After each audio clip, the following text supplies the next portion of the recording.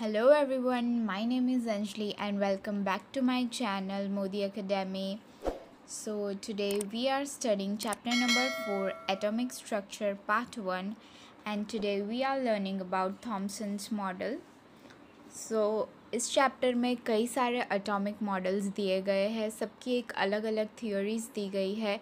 But आज हम जो फ़र्स्ट थियोरी जो इन्वेंट हुई थी, जिससे हमें बेसिक एटॉमिक मॉडल के बारे में पता चला उस मॉडल के बारे में हम पढ़ने वाले हैं, जिसका नाम है थॉमसन्स मॉडल और प्लम पुडिंग मॉडल। बहुत लोग इसे प्लम पुडिंग मॉडल भी बोलते हैं बिकॉज़ उसका जो स्ट्रक्चर बेसिक स्ट्रक्चर है, उसे कंपेयर किया गया है प्लम पुडिंग से। So let's start our video but please first of all like and subscribe to my channel and this video for more interesting content and another topics of your studies so, let's start our video. So thomson's model thomson's atomic model was proposed by william thomson in year 1900 तो ये जो है, वो बहुत पुराना model है, जो सबसे फ़र्स्ट मॉडल था, ये वो वाला मॉडल है। सो फ़र्स्ट ऑफ़ ऑल ये जब मॉडल बना था, उससे भी पहले जब जे जे थॉम्सन है, वो काम कर रहे थे विलियम थॉमसन के साथ लैब में, तब उन्होंने डिस्कवर किया था इलेक्ट्रॉनिक पार्टिकल जबकि वो एक ट्यूब में काम कर रहे थे, एक एक्सपेरिमेंट कर रहे थे, तब उन्होंने डिस्कवर किया था इलेक्ट्रॉन्स और उसके बाद जब विलियम थॉमसन ने मॉडल पे काम करना स्टार्ट किया, तब उन्होंने रियलाइज़ किया कि जो इलेक्ट्रॉन है, वो अकेले नहीं है। उसके साथ भी उसे न्यूट्रलाइज करने के लिए कोई और भी चीज़ प्रेजेंट है।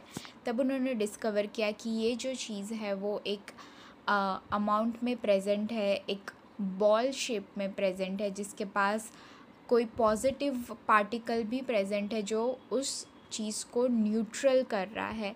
So as we all know जो हमारा अभी का मॉडल है वहाँ पे हमें पता है कि प्रोटॉन इलेक्ट्रॉन्स प्रेजेंट है जो कि न्यूट्रल न्यूट्रल कर रहा है एटम को बिकॉज़ एक पॉजिटिव है एक नेगेटिव है। वही चीज़ जो है विलियम uh, थॉमसन ने प्रपोज़ किया था। उन्होंने बताया था कि इस तरह की, की कोई चीज़ प्रेजेंट है जो जिसके बारे में हमें अभी तक नहीं पता है।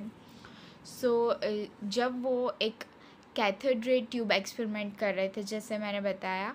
वहाँ पे उन्होंने नेगेटिवली चार्ज पार्टिकल के बारे में डिस्कवर किया जे जे थॉमसन के साथ। सो so, उस एक्सपेरिमेंट के बाद उन्होंने ये आइडेंटिफाई किया कि वहाँ एक नेगेटिव पार्टिकल है जिसे वो लोगों ने नाम दिया इलेक्ट्रॉन सो नेक्स्ट उन्होंने प्रपोज़ किया ये चीज़ कि जो प्लम पुडिंग मॉडल है so as you can see यहाँ पे जितना भी ब्राउन पार्ट है पुडिंग का, उसे उन्होंने पॉजिटिव चार्ज दिया और जितने भी जो अंदर जो पुडिंग में पार्टिकल्स प्रेजेंट है, कोई चॉकलेट लाइक स्ट्रक्चर जो भी है वो नेगेटिव पार्ट है उस पुडिंग का। ये बेसिकली जो स्ट्रक्चर है वो एक चॉकलेट चिप कुकी की तरह भी है। जितने भी चॉकलेट चिप है हमारे कुकीज़ में वो सारी नेगेटिव चार्ज है और जो भी बाहर का ब्राउन हिस्सा है जो कुकी का हिस्सा है वो पॉजिटिवली चार्ज है।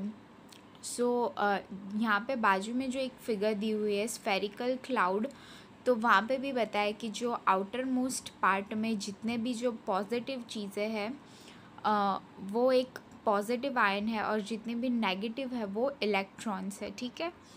नाउ नेक्स्ट उसे वाटरमेलन के साथ भी हम कंपेयर कर सकते हैं कि वाटरमेलन में जितना भी पिंक रेड हिस्सा है, वो सारा ही पॉजिटिव है और उसमें बीच बीच में जितने भी बीज है, जितने भी सीड्स है, वो सारे नेगेटिव पार्ट हैं। So next is postulate of Thomson's model हम पढ़ेंगे कि थॉमसन मॉडल ने एग्जैक्टली exactly क्या कहा है, कौन से जो पॉइंट्स है वो सबसे इंपॉर्टेंट है। So first postulate was an atom consist of positively charge sphere with electrons embedded in it so basically यहाँ पे ये कहा है कि एक बड़ा सा स्फीयर है जो पूरा पॉजिटिव है बट कुछ कुछ जगहों पर कुछ कुछ हिस्सों में जो है वो नेगेटिव पार्ट्स जो नेगेटिव इलेक्ट्रॉन्स है, वो रखे हुए हैं। सो बेसिकली ये ये मॉडल का मतलब यही है कि पूरा स्फीयर जो है पॉजिटिव है और बीच बीच में कई कई जगहों पर नेगेटिव इलेक्ट्रॉन्स प्रेजेंट है। और जो सेकेंड पॉस्टुलेट था, वो था an atom as way is an atom as a whole in electrical neutral because negative and positive charge are equally in magnitude so basically इसका मतलब ये है कि ये जो पूरा एटम है, वो न्यूट्रल है, वो ना नेगेटिव है, ना पॉजिटिव है। तो ऐसा क्यों है?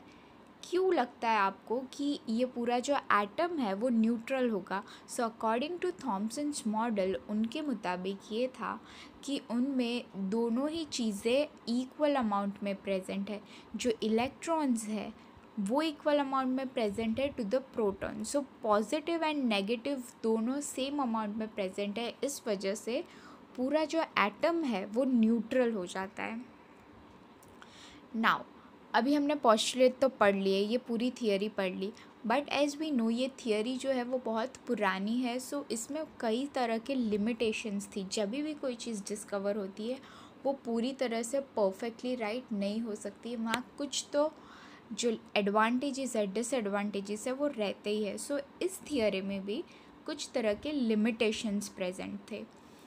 It fail to explain the stability of an atom because his model of atom fail to explain how a positive charge hold the negative charge electron in an atom therefore this theory also fail to account for a position of nucleus in an atom so so basically इस theory में सबसे पहला जो limitation था, वो बहुत ही basic limitation था। उसमें इतना सोचने की भी ज़रूरत नहीं है। इस थियरी में ये बोला था कि जो पॉजिटिव चार्ज है, वो होल्ड कर रहा है, वो पकड़ के रख रहा है नेगेटिव पार्ट को। जो भी नेगेटिव इलेक्ट्रॉन्स है, वो एक पॉजिटिव पार्ट में प्रेजेंट है। सो so, वो एक्सप्लेन नहीं कर पाए इस थियरी को और इसी वजह से वो ये भी नहीं एक्सप्लेन कर पाए कि उस एटम में उस कई भी चीज़ में कोई मास प्रेजेंट है न्यूक्लियस प्रेजेंट है उस एटम में। सो so, ये थियोरी पहले ही उस जगह पर फेल हो गई। Now next was Thomson's model fail to explain the scattering of alpha particles by thin metal foil ठीक है? सो यहाँ पे भी वो स्कैटरिंग जो इफ़ेक्ट है, जब भी उन्होंने जो लाइट एमिट की, जब उन्होंने ट्राई किया कि किस वजह से जो अल्फ़ा पार्टिकल्स की जो रेज़ है, वो पूरी तरह से पास नहीं हो रही, कुछ रेज स्कैटर क्यों हो रही है, ये भी वो एक्सप्लेन नहीं कर पाए। No experimental evidence in it support तो ये सारी चीज़ें थी उसमें अपनी थियोरी को सपोर्ट करने के लिए किसी भी तरह की चीज़ जो है, किसी भी तरह का एक्सपेरिमेंट वो नहीं बता पाए कि वो जो बात बोल रहे हैं वो सही है या नहीं। So this was a small theory about Thomson's model which is present in your textbook so you can check it out and you can check another model models of Rutherford of same chapter to my channel thank you